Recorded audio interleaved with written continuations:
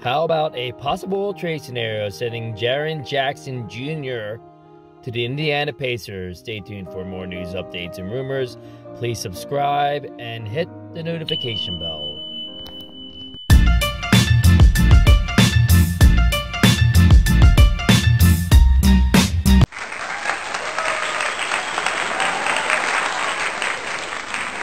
Hello, NBA fans. Jason G is back with another video. I hope everyone is having a good day.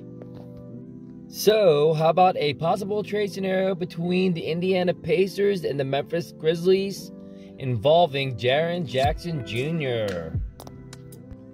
So, in this uh, trade scenario, the Indiana Pacers receive Jaren Jackson Jr. and Kyle Anderson and the Memphis Grizzlies receive TJ Warren,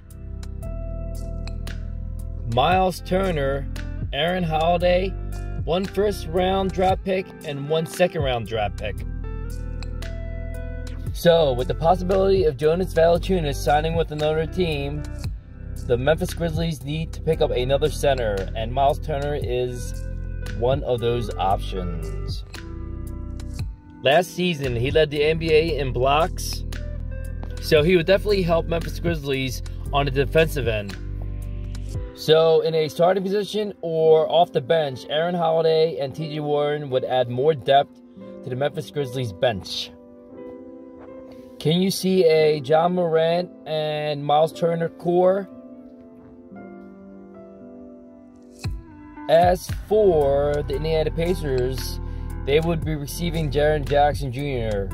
Uh, you would have a core of possibly Malcolm Brogdon, uh, Domantas uh, Sabonis, and Jaren Jackson Jr. And we also uh, can't forget about Caris LeVert. So, to all the Memphis Grizzly fans and Indiana Pacer fans, let me know your thoughts about this possible trade scenario. Please comment below, like, share, uh, please consider subscribing. And I will see you in the next video.